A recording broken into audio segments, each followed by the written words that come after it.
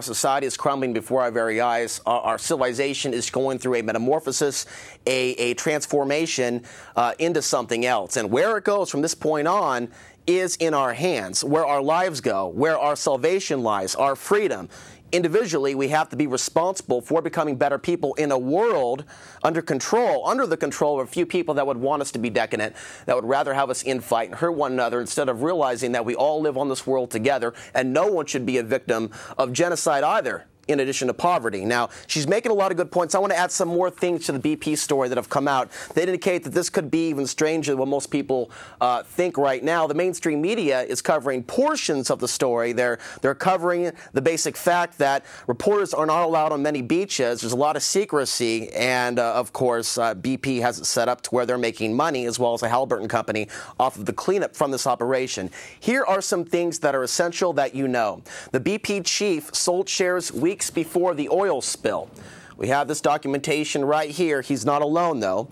Goldman Sachs also sold some of their shares, approximately 44%. Now, Bill, leave it up on uh, the document cam on camera number one. Let's show them this as well. Goldman Sachs sold 250 million of BP stock before the spill. That is 44%. But wait, there is much, much more. Officials, sunken rig could cause huge oil spill. And in this particular report, there is some more information. An oil platform that burned for 36 hours after a massive explosion sank into the Gulf of Mexico on Thursday. And we're going back to April 22nd, 2010. So in this initial report, and they later retracted it. There was a admission that three hours before the rig went up, there was a explosion. This was reported by the Coast Guard. But they released a statement saying the error was due to a computer time stamp problem. We also have this piece of information. Gulf Spill Halliburton. Company worked on rig 20 hours before the explosion. Before the explosion took place, they were working on the rig, re-cementing it in the day prior to it. Now, what else took place involving Halliburton, which, as we know, is connected to the military industrial complex? Did anybody say Dick Cheney? Halliburton agrees to buy Boots and Coots. What is this? It's a company that uh, provides pressure control services for oil and gas wells in a stock and cash deal worth about 240 million. This came out on Friday, April 9th, 2010. That's when this report came out from Reuters about a week to two weeks before this disaster took place. Again, she's talking about the economy. Now, it's the economy and many other things that are causing some people to lose their composure and turn on one another. Economy worse for jobless. This is from the local paper here, the scanner. And many, many people are now going off their unemployment benefits. And we will see what the result of this will be. Not that we should be dependent upon the state, but there has to be jobs provided somewhere. But should it be the government or should the jobs come from the private sector? I believe the private sector. But all the money, all the money right now is in the hands of the big banks and the government, and they're dictating and controlling what jobs get created. And uh, there's going to be some other really strange jobs uh, being created in the future uh, to uh, get more Americans working directly for the military industrial complex through via contractors. And then we have more information about uh, Obama's civilian defense plan. Uh, he has uh, recently uh, announced that this is something that is going to move forward with to, of course, relief, uh, relief provide relief to uh, military servicemen and contractors operating in the Middle East. And so this is very, very interesting and telling of where the country is going. Before I go any further, the point of this information, as most of you already know, is to liberate you from the bondage of the illusion of thinking that everything is just okay, that Obama or Bush and a president's going to save you. We weren't meant to live like this uh, with two uh, two wolves uh, and a sheep voting on what's for dinner. And you're for dinner. Our livelihoods are for dinner. Your children's savings accounts, as well as your own, are all in jeopardy. And so this is happening as well as the economy melts down. Now, Bill, go to the next graphic that we have there in order on the slideshow.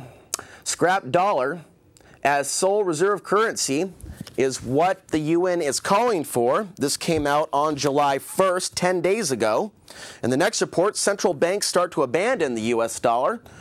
This is from CNN. A new report from Morgan Stanley confirms what many had suspected. The dollar is firmly on its way to losing its status as the reserve currency of the world. We already knew that central banks had preferred gold to dollars and that they're even selling their gold for cash.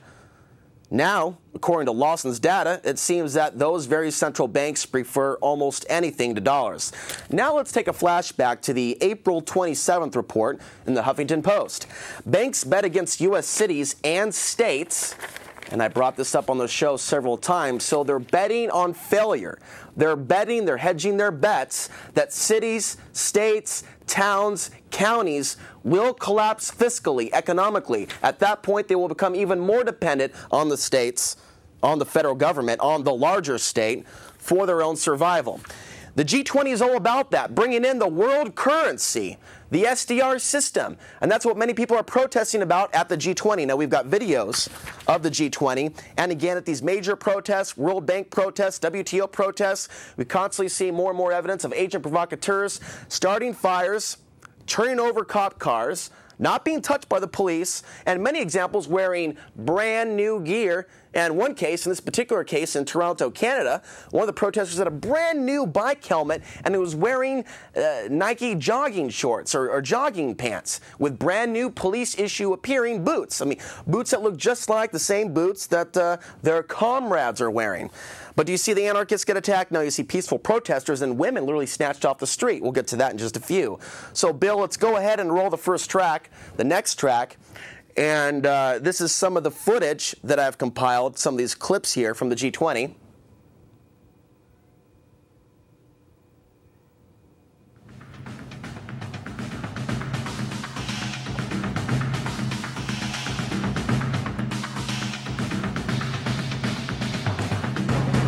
And in Canada, the year prior at the SPP protest, there were some provocateurs that were caught wearing the exact same model issue boots as the police. So Canada has a little bit of experience pulling these shenanigans. So if you're one of those individuals that's living under the illusion that you can go to Canada and everything's going to be fine, you got another thing coming. This is all about integrating Mexico, Canada, and the United States and creating the NAU, the North American Union. We have a lot of clips here, but I can only bring clips that we have time to show. We'll play about another minute of this.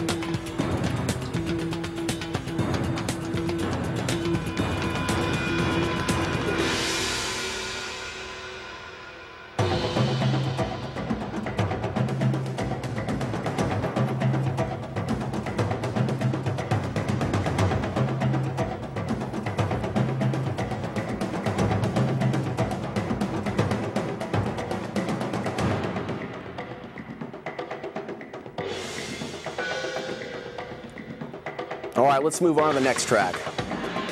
This was one of the cop cars that the anarchists were attacking. As police look on across the street.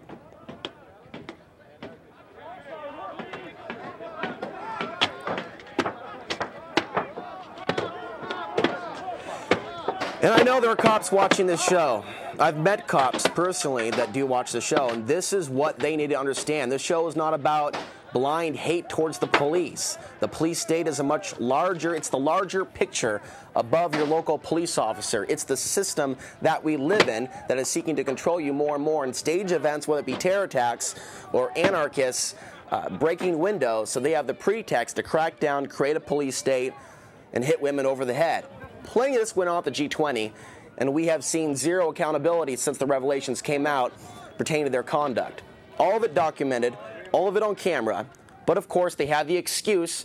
They're saying, of course, that uh, it's okay what they did because of what the anarchists did. And so this is the regular protest. This is again the other side where the anarchists weren't were weren't weren't you know having their fun. The provocateurs. And again, it looks like America, but it's not in Canada. They're singing their own national anthem. This is not the United States. This is Canada. What has happened to us is now happening to other people. And so many Canadians